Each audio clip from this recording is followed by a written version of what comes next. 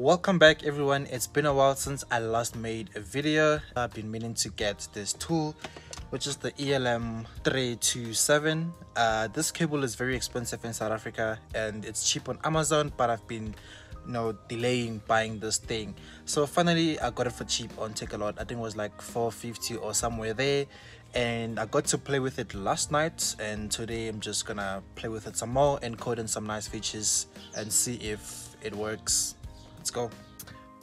When you're connecting that thing there you want to make sure it's in the hs position and you want to make sure the car is on but not with the engine running. Um i just connected and then i'm gonna choose my previous profile because i've been here before you know um and then when it asks you to switch it over to ms on mine i just flick it down. You see that there? Say yes. Flick that switch down and then click ok and we move. Uh, i didn't know my car has a gps I okay and then for programming you go here. And I was mostly playing around the body control module. Click that you click play uh, HS push it up push that thing up and then click on OK here. Um, it's gonna the car is gonna act funny. No it's gonna act funny. Almost seems like you're breaking the car and stuff but it's just loading reading everything from your body control module. It starts the aircon for some reason. I don't want that. But it's reading. Turn the ignition off. We're gonna turn it off and then click on ok and we see all the options we can change. So if i search on filter here want to see it's this one. It says without but i want it so i'm gonna say automatic. No wait wait wait. Supposed to be in engineering mode. Um say edit selected.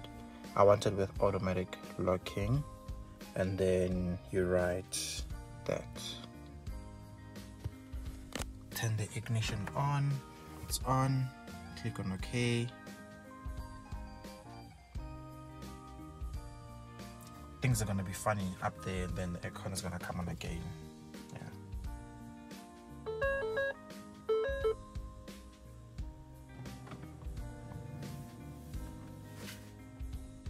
Okay it says block program successfully. So now we should have automatic locking three hours later. I've already tested the software because you know I drove all the way here and it works but just to show you I'm going to unlock open the door close it. No. close it. Some fire just started. What the hell so the car is unlocked. And let's make our way.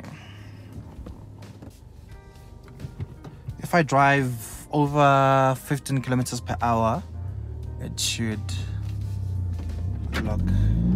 It locked. Ah it's so nice